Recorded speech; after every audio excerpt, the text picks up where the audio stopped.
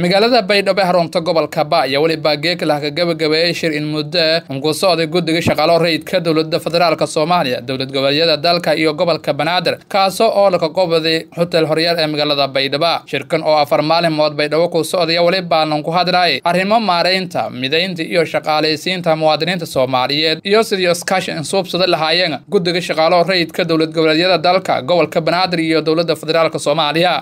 geeka welibaa laha ku saaray war murtiyeed oo ka qotoma wada shaqaynta iskaashiga khibradda iyo nidaamka dowladeed ee shaqaalo rayidka dowladda federaalk soomaaliya dowlad goboleedyada iyo gobolka banaadir. Walibana war murtiyeedka warbaahintan ankriyay gudoomiyaha guddiga shaqaalaha rayidka dowladda federaalk soomaaliya xasan abshirow maxamida wuxuu garowsaday in siyaasadaha iyo xeernidaamayaasha shuruucda iyo habraacyada lagu maamulayo shaqaalaha rayidka dalka ka jira ee kala duwanaanshaha dhinac dhinacyo badan leh iyo sidoo kale habka kaydinta xogaha shaqaalaha kadib markay soo jeediyeen bandhig guddi hoosaadyada farsamada islamarkaasna waxaa goluhu diirad saareen sidii xag farsamo iyo maamul ahaan loo hagaajin lahaa hanaanyada loo maro habraacyada qaarkood lagana mideeyo si ay u sahlanaato adeegsiga habraacyada iyo hanaanka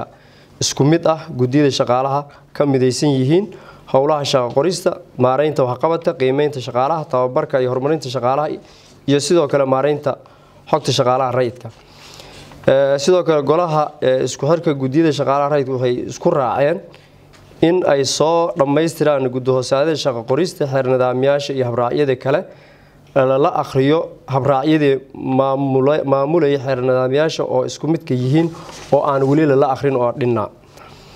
sidoo kale guddiyada waxay ay guddi kasta uu aqoonsan yahay in nidaamyada maamul wanaagga daahfurnaanta iyo hufnaanta yihiin mabaadi'da qiyam iyo sharafta dowladnimada ee u adeegidda bulshada. Oo ay ugu horeyso shaqada guddiyada shaqaalaha ay qabtaan oo ay iradda laga soo galo shaqada dowladda ayna ka go-an tahay goluhu in la xoojiyo shaqo qorista iyo habraacyada kale ee guddiyadu ku shaqeeyaan ay noqdaan hanaan hufan oo dhammaan muwaadiniintu isku haleyn karaan una siman yihiin. Dal wuxuu kaloo hoosta ka xariiqay in ay u muuqdaan in ay muqadas tahay madax banaanida guddiyada shaqaaluhu tahayna qodob dastuuriya ayna ka madax bannaan yihiin dhammaan u madax bannaayihin dhammaan howlahooda dhammaan howlahooda sharciga gudashada sida shuruucda shaqaalaha rayidka dhammaan nidaamiyaasha iyo habraacyada kale ee lagu maamulo shaqaalaha rayidka iyagoo ay ka madax bannaan farangelin siyaasadeed ama howlahooda farsamo marka ay gudanayaan ay ka madax bannaan yihiin. Goluhu sidoo kale wuxuu dhiirigelinaya in dhammaan muwaadiniinta jamhuuriyadda federaalka soomaaliya ay ka codsan karaan kana shaqayn karaan meel kastoo ay shaqo ka bannaan tahay ee ka tirsan dalka shaqo iyo xirfadda ay u leeyihiin taana ay samayn karaan. Sidoo kale goluhu waxay diiradda saareen xal u helidda caqabadaha shaqadoonka ka haysta deegaanada ay ku kala nool yihiin iyo in ay sida ay ku gaari lahaayeen xarumaha guddiyada shaqaalaha ee laga dalbado shaqada. Golo wuxuu isku raacay in ay ka soo tala bixiyaan guddi hoosaadka farsamada ee i c t-da sidii xal loogu heli lahaa si qof walba asigoo jooga goobtiisa uu u soo codsan karo shaqooyin ka bannaan shaqaalaha rayidka ee heer federaal heer dowlad goboleed ay ka soo codsan karaan taasoo u sahlanaysa qofku in hodhowdii uu ka soo codsado fogaan araga iyadoo arintaas muwaadiniintu qaarkood caqabaday weli ay ka jirto.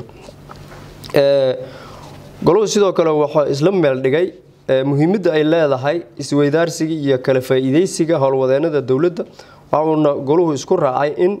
la sameeyo guddi farsamo oo khubaro ah oo ka soo tala bixiya hanaan fudad oo khuseeya shaqaalaha isweydaarsiga taasoo uu goluhu ku dhiirigelina in hay'adaha dowladda federaalk iyo dowladda xubnaha ka ah iyo maamulka gobolka banaadir ka faa-iideystaan aqoonta kartida xirfadaha shaqaalaha iyo hal abuurka lagu horumarin karo shaqaalaha rayidka dalka si waafaqsan. Dastuurka iyo shuruucda shaqaalaha dalka. Golu wuxuu kaloo dood dheer ka yeeshay sida ay lagama maarmaan u tahay kobcinta aqoonta xirfadaha shaqaalaha dowladda hadba iyada oo taas laga duulayo waxaa laysku raacay in la dejiyo hanaan iyo hab aqoon isweydaarsi waxaana loo saaray guddi farsamo oo ka soo tala bixiya hanaanka loo marayo aqoon isweydaarsiga iyo tababarka iyo xirfada koruqaadida shaqaalaha rayidka dowladda goluhu sidoo kale wuxuu si qoto dheer ugu dooday arinta la xiriirta kala duwanaanshaha mushaaraadka shaqaalaha rayidka iyo darajooyinka taasoo muhiimad gaar u leh shaqaalaha dowladda u shaqeeya waxaana la isla gartay in qeyb mugle laga qaato ee dadaalada socda oo ay iska kaashanayaan dowladda federaalka iyo baanka adduunka kaasoo darajooyinka iyo mushaaraadkii gunooyinka hadda la horumarinayo diyaarinteeda lagu jiro kaasoo laysla gartay in gudiyada iyo khabiirada la shaqeeyaba ay juhdi badan ay geliyaan taasoo meesha ka saari doonta in qof walbaa hadhowday oo dowladdu u shaqeeya la ogaan doono waxa uu yaro qofka uu ku shaqayn doono iyo xuquuqaadkooda kala duwan halkaa laga heli doono. Sidoo kale in dhammaan go'aanadii ka soo baxay shirkan golaha isku xirka gudiyada shaqaalaha rayidku lala wadaago madaxda dowladda federaalka iyo dowlad goboleedada xubnaha ka ah iyo dowladda iyo maamulka gobolka banaadir. Goluhu wuxuu kaloo u mahadcelin gaara u jeedinayaa madaxweynaha dowlad goboleedka koonfur galbeed gudoomiyaha guddiga shaqaalaha koonfur galbeed dhamnaha xubnaha howlwadeena guddiga shaqaalaha koonfur galbeed oo ay muujiyeen si doorana ay maamuus leh oo heer sare leh u martigeliyeen una soo dhoweeyeen wafuuddan ka kala timid ee gudiyada shaqaalaha iyo howlwadeynadooda maalmihii halkan ay joogeen. Ilaa iyo inta hadda uu shirkaan noo dhammaanay ay garab istaagnaayeen. Marka aad iyo aad aan ugu mahad celinaynaa ugu dambeyntii waxaana gudiyadu isla afgarteen in kulanka xiga la qabto shan iyo tobanka novembar ilaa iyo shan iyo labaatanka novembar lagu qabto magaalada kismaayo dowlad goboleedka jubbaland. Halkaasoo qodobadii halkan hadda aan ku heshiinay oo ka soo baxay iyo waxyaabihii laga soo shaqeeyeyna halkaas laga sii ambiqaadi doono. Aad iyo aad u mahadsantihiin waxaan rajaynayaa in kulamada soo socda aan ku soo bandhigi doono howlaha gudiyadu ay qabtaan iyo iyo dhammaantood. Waxaan ugu mahad celinayaa guddoonkii iyo muddooyinka hadda dambeeya isla shaqaynaynay howlahan u soo taagnaa